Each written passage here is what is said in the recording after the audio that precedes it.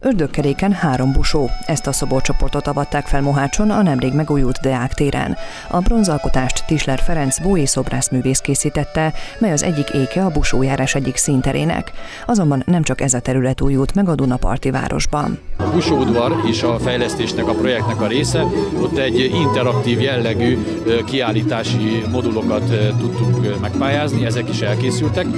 Példákat mondanék, fiatalok bemennek ebbe a múzeumba, körbenéznek, megnézik a bábukat, az emléktárgyakat, megnézik azokat a szituációkat, amit a busójárás ugye jelent, így egész évben emlékezhetünk erre a folyamatra, és ezen kívül oda mennek egy interaktív táblához, készítenek saját maguk egy maszkot, fel tudják magukat öltöztetni busónak vagy sokaclánynak, csinál a rendszer magukról egy képet, és azt e-mailen elküldi, és örök emléket kapnak Mohácsról.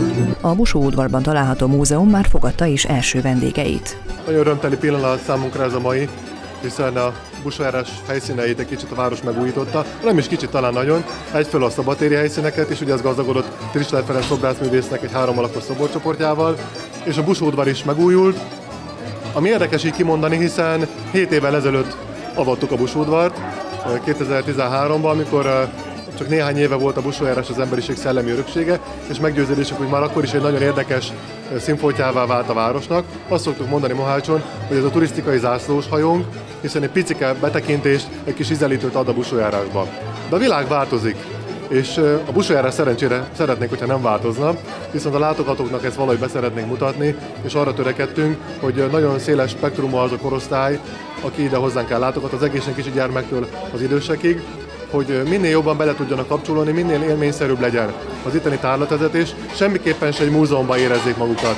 Úgyhogy lehet evezni csónakban, lehet kereplőversenyt rendezni az emeleten, és aki a Mohácsi Kóló egy-egy lépését szeretné elsajátítani, annak is módja van itt, hiszen az itteni eszközökkel kivetítve a földre, lehet kicsit kipróbálni ezeket a lépéseket, nagyon érdekes bepillantás, nekem a kedvencem változatlanul a sokat sporta, mert ugye a busójárás kint zajlik, és a látogatók azzal találkoznak, hogy a busó az egy tetőtől talpig beöltözött egyén, de nem nagyon tudják, hogy ki van mögötte, mi van mögötte, persze igyekszünk is valamilyen szinten titkolni, de a kicsit a készülődésbe enged bepillantani az a részlet, amit mi sokat sportának hívunk, benézzünk a házba, bábukon keresztül is, meg filmen keresztül is látszik az a készülődési folyamat, ahogy a busók busóvá válnak. Aztán van egy kis gasztronómiai kitekintő, hiszen van egy eszköz, ahol Mohács legfőbb gasztronómiai kínálatát, a halászét, a sokazbabot mutatjuk be, és a látogatók a receptet megismerhetik, elküldhetik maguknak e-mailbe, tehát ezek azok az elemek, ami miatt azt mondjuk, hogy a busódvar interaktívá vált, interaktívabbá vált, és hát semmiképpen se egy, egy 20 perces látnivalója a városnak, hanem hosszú órákat lehet tartalmasan eltölteni ebben a látogatótérben. A jövőben arra számítanak, hogy még több érdeklődőt vonz a látványosság. Nagyjából a tízezeres nagy, nagyságrend az, ami fizető vendégként most én közgazdász vagyok, és a Busódvart üzemeltető Kft. ügyvezetője, tehát ebéli minőségemben mondom, hogy olyan tízezer körül van a fizető vendég. Szerencsére a Busódvarban jó néhány városi rendezvény is ide talált. Tehát nyilván amikor itt városi bormustra van, vagy Mikulás ünnepé, Busó Mikulás, akkor ugye ezeket nem számítjuk bele, hiszen akkor is sok ezren vannak, vagy akár több ezren.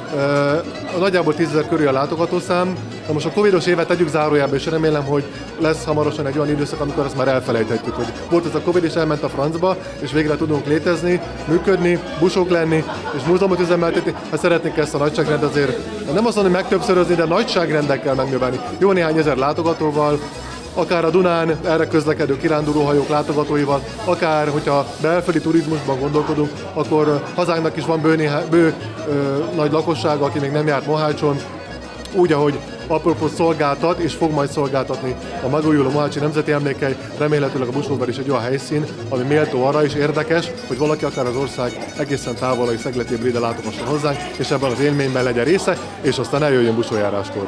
Természetesen a külföldi látogatókra is gondoltak az új interaktív kiállítótér megalkotása során. Nyilván ennek vannak sokszor prózai oka is, hiszen nagyon nehéz munkaerőt találni, olyat pláne nem, akinek négyféle nyelve van, és egy nagyon korszerű audio guide rendszerrel gazdagodott a busúdvar, ahol angolul, németül és horvátul elérhető a tárlatvezetés, tehát, hogyha olyan kollega van itt éppen, aki nem beszéli ezeket a nyelveket, csak éppen fogadni tudja a látogatókat, az Audio Guide nagyon korrekt módon végig kalózolja, és szerintem közel olyan élményben lesz része a látogatóknak, mint amikor élőszóval vezetjük őket körbe, de azért változatlan szeretünk élni, és élőszóban bemutatni a látogatóinknak ezt az egész szépséget, ami itt van.